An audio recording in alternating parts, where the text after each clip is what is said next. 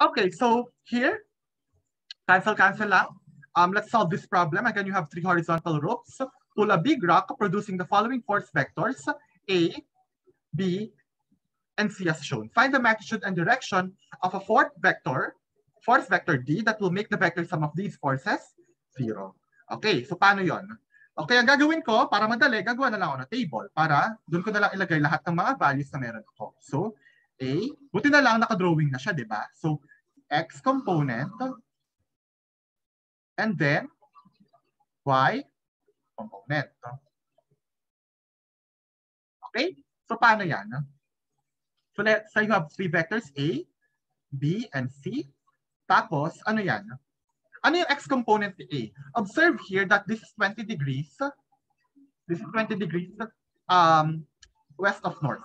Di ba? So, in that case, what I can do here is what? Of course, right, may dalawa kang I can determine the complement and then use the our usual cosine sign. Pwede rin naman, balik rin ko yung sine tsaka cosine. Ang gagawin ko yung former para hanapin ko tong angle na to. This is 70 degrees, di ba? Tama? Yes, sir. Yes, tama. 70 degrees yan. In that case, I know that my x component is negative, and then I will get something like an 8 minus a cosine of 70 degrees. Agree? Agree? Yes, sir. Yes, sir. Dako, actually, ang pwede mo pang isulat dito kung medyo maarte ka talaga is a cosine ni what? Um, 110. 110 degrees. Yan talaga yon. Pero uh, para mas mapadali buhay natin, I'll just write it as minus a cosine of 70 degrees. So, acceptable rin yan. And then, for the y component, on the other hand, is still plus a cosine of, one, of 70 degrees or a or a sine ni 110 degrees. Nonetheless, parehas lang yung dalawang yan. One is just with respect to negative x, and the other is with respect to positive x. Diba? Gets? Gets yung rational? Gets yung pinagagawa ko dito? Yes, Yes, sir. sir. Yan. Now, for B, I can also, note here nakalagay na siya sa, this is what? Ito na yung re- related acute angle niyan, di ba? So I can say it's okay.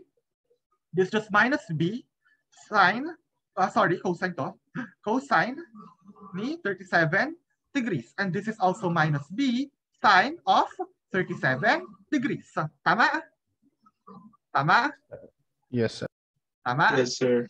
Of course, ang more formal niyan ay dapat this should be B uh, 180 plus 37, 207, 207, tama? Basta ganon. tama, 8, tama. Grabe Joke naman yan, sir. Mini-mental. Um, cosine of 200, 180, 217 pala, sorry. 217. Okay. Tama na ba? 217. Pwede rin to na B B um, cosine of 217 degrees, B sine of 217 degrees. Pwede yon.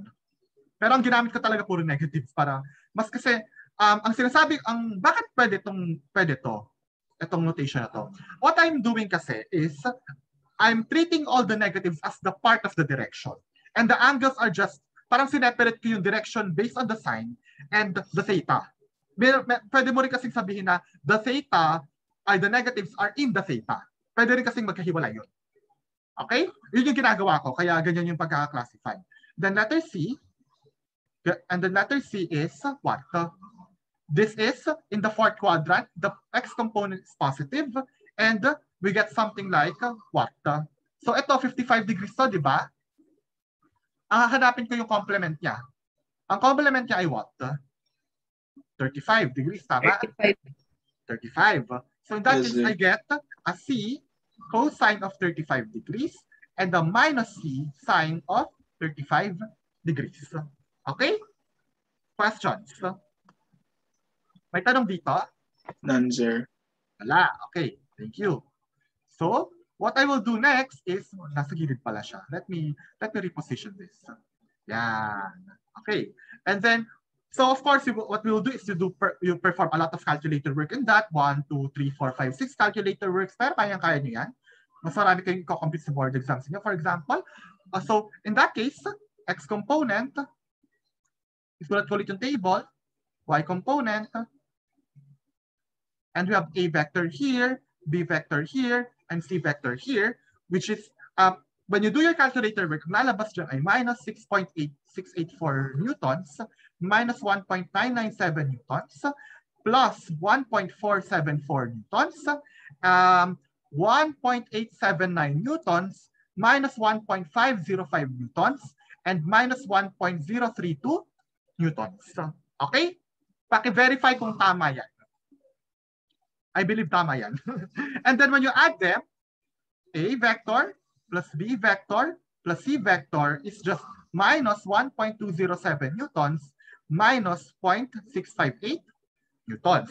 Ngayon, ano ba yung tinatanong? Ang tinatanong ito, what we want, but, but, what we want is what?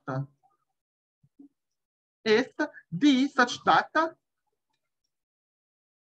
such that, ano mangyayari? The all, the vectors are, the vector sum of all these vectors are zero. Pangat naman na zero ko. Yan. Tama? Pangatawan ng vector arrow na to. Yan. Okay? This means that D vector is negative of A vector plus B vector plus C vector.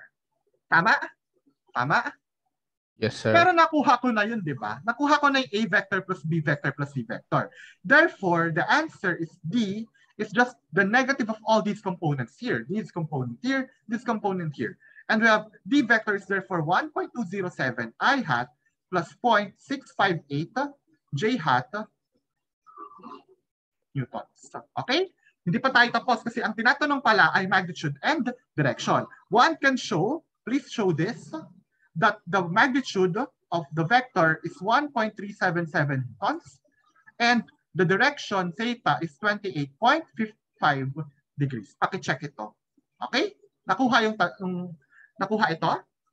Yes, sir. Yes po. Nakuha? Okay, again, what you need to do if there's a lengthy calculation, create a table para madali i-organize yung thoughts niyo. Hindi kung saan-saan ka magko-compute. Okay? May nagpapa-admit, patapos na tayo. Okay.